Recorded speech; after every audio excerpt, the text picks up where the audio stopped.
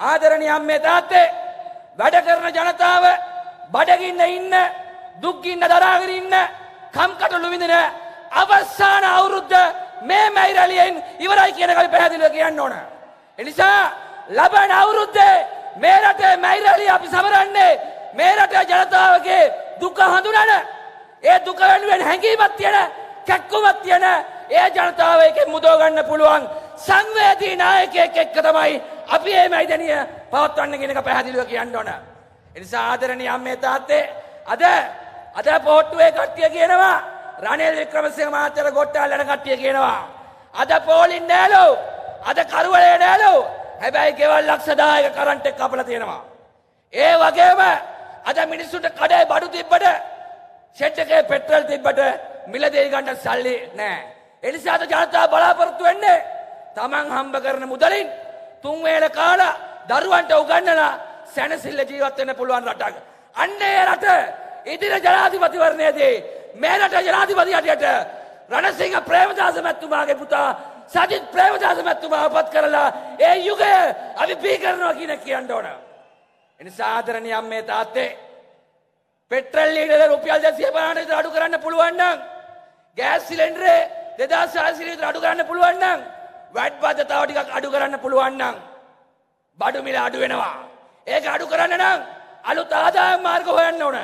අලුත් ආදායම් මාර්ග හොයන්න නම් ජාත්‍යන්තරත් එක්ක ගනුදෙනු කරන්න ඕන. ජාත්‍යන්තරත් එක්ක ගනුදෙනු කරලා අලුත් ආදායම් රටට ආවනම් එදා ප්‍රේමදාස ජනාධිපතිතුමා යුද්ධය තියෙන කාලේ බංකොලොත් ආර්ථිකය අරගෙන එතුමා මොකද කරේ ඇඟලුම් කර්මාන්තශාලා 200ක් හදලා අපේ රටේ ඇඟලුම් අපනයනයෙන් රාජ්‍ය ආදායම මිලියන 7000කින් ඩොලර් මිලියන 7000කින් වැඩි කරා. එතුමා බදු ගැව්වේ නැහැ. එතුමා බඩු මිල වැඩි කරේ නැහැ.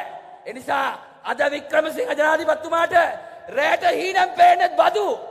එතුමට මේ රටේ ජනතාව විඳින දුක ගැන ළමයි බඩගිනින් ඉන්න ගැන ලෙඩ්ඩුන්ට බේත් නැති එක ගැන කිසිම හැඟීමක් නැහැ.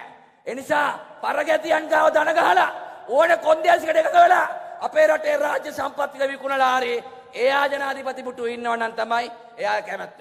ඒ නිසා දැන් එතුමාලා හිතන් ඉන්නවා එතුමාලාට තියෙන ලොකුම අභියෝගය සජිත් ප්‍රේමදාස මැතිතුමයි සමගි ජන බලවේගයයි කියලා. ඒ හින්දා කොන්දේසි විරහිතව සජිත් ප්‍රේමදාස මැතිතුමාව පරාජයටපත් කරන්න රතු ඇලි පැටවෝයි කොළ ඇලි පැටවෝ එකතු වෙලා. අද අපි මේ මැයිදිනේ තියන්න ගිය පෙබරවාරි මාස 26 වෙනිදා ඉල්ලුවේ කොඹල කොළඹ නගර සභාව ඉස්සරහා. නගර සභාව පොලිසිය පොලිසිය නිර්දේශ කරලත් එව්වා. හැබැයි මේ කොමසාරිස්වරිය ජනාධිපතිවරයාත් එක්ක කතා කරලද මන් දන්නේ අපිට දුන්නු තැන අපිට නැති කරලා අද ඒක රතු අලු පැටවුන්ට JVP කාර්යයන්ට දීලා තියෙනවා. ඔන්න කොළ අලු පැටව් රතු අලු පැටවුන්ට උදව් කරන විදිය. ඒ නිසා ආදරණීය අම්මේ තාත්තේ කයියනායකලා ඉන්න පුළුවන්. කටවුල් කර කර බොරු කරන්න පුළුවන්. හැබැයි ක්‍රිකට් කණ්ඩායමක් වගේ දක්ෂ කණ්ඩායමක් ඕන. සංවේදී නායකයෙක් ඕන. ඒ වගේම හොඳ බෝලර්ස්ලා බැට්ස්මන්ලා ෆීල්ඩ් ෆීල්ඩර්ස්ලා ඉන්නවා වගේ දක්ෂ කණ්ඩායමක් ඕන. අන්න ඒ කණ්ඩායම තමයි මේ ඉදිරි පෙළ ඉන්නේ. ඒ කණ්ඩායම ඉන්නේ සමගි ජන බලවේගයේ පමණයි කියන එක මම පැහැදිලිව කියන්න ඕන. ඒ නිසා අවසාන වශයෙන් එක දෙයක් කියන්න ඕන. අද මේ කොළඹ නගරේ අපි මැයිරලිය පවත්වන්නේ අපේ ශක්තිය පෙන්වලා වැඩ කරන ජනතාවට නිවාල් රටක් නිර්මාණය කරන්න මේ මැතිවරණය ජයග්‍රහණයක් ඉලක්ක කරගෙන.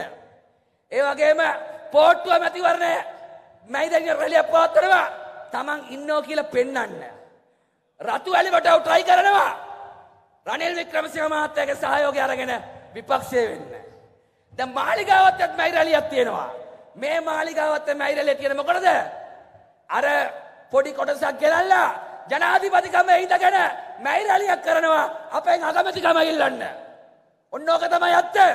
ඒ නිසා අපිට මෙහෙම තාඩන කරලා, පීඩන කරලා, හිරිහැර කරලා, අපේ බස් ටික බ්ලොක් කරලා, බස් ඔක්කොම චෙක් කරලා මේ පෙළපාලිය කඩාකප්පල් කරන්න මේ ආණ්ඩුව කුමන්ත්‍රණ කරා. ඒ අභියෝගය අද අපි ජයගත්තා. එනිසා ලබන අවුරුද්දේ අපි මේ මහිරලිය සජිත් ප්‍රේමදාස ජනාධිපතිතුමාගේ ප්‍රධානත්වයෙන් පවත්වලා නිදහස් නිවහල් රට බිහි කරමුයි කියමින් මගේ කතාව අවසන් කරන බොහොම ස්තුතියි.